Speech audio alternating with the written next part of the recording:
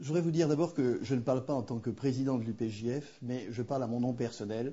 Et j'ai pris cette décision après l'accord du bureau de l'UPJF. La France, c'est aujourd'hui un tournant, un grand tournant, et nous avons le choix entre trois candidats possibles pour la prochaine élection présidentielle.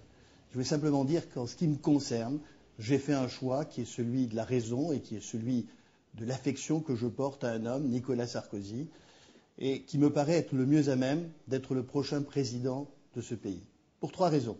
D'abord pour sa stature.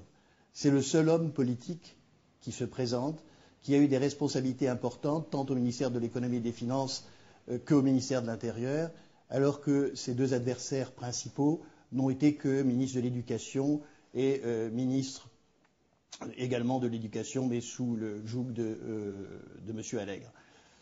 Stature importante et la France, qui est vraiment dans une situation difficile, a besoin d'un homme de cette stature. C'est le premier point. Le deuxième point, ça tient à la politique, au programme économique que préconise Nicolas Sarkozy. Je ne vais pas euh, rentrer dans le détail, je veux simplement dire qu'il fait reposer son programme économique sur la notion de travail et qu'à un moment où ce pays est un de ceux en Europe où on travaille le moins et où malheureusement euh, la rentabilité euh, pose des problèmes, la notion de travail est une notion essentielle sur laquelle repose une grande partie du programme de Nicolas Sarkozy. En ce qui concerne le troisième point, qui concerne la politique étrangère, Nicolas Sarkozy est le seul des trois candidats à avoir une politique étrangère objective et équilibrée. Il a d'abord redonné toute sa valeur aux relations avec les États-Unis d'Amérique. Il, il, est en train de travailler de façon très claire sur un réchauffement, entre guillemets, des relations, et je crois que c'est tout à son honneur parce que c'est dans un moment difficile. Et on n'oublie pas que les États-Unis, à un moment où notre pays était confronté à de très grosses difficultés, est venu à notre secours. C'est vrai que c'était il y a 60 ans, mais ça compte quand même.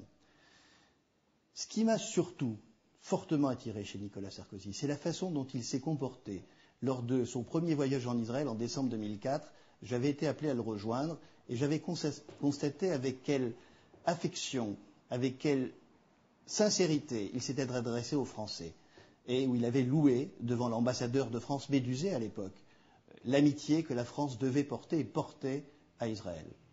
Enfin, cet été, en plein conflit euh, avec le Liban, Nicolas Sarkozy est apparu un dimanche soir sur TF1 et, sans hésiter, a reconnu, a affirmé qu'Israël était le pays agressé et que le Hezbollah était une organisation terroriste. Cela devant 20 millions de téléspectateurs, à un moment où Israël était euh, la cible de l'ensemble des médias, je veux dire que ça fait chaud au cœur, et ça, je ne suis pas prêt de l'oublier non plus. Voilà pourquoi, sur toutes ces raisons, j'ai décidé, euh, en mon âme et conscience, de voter pour Nicolas Sarkozy le 22 avril et le 6 mai prochain.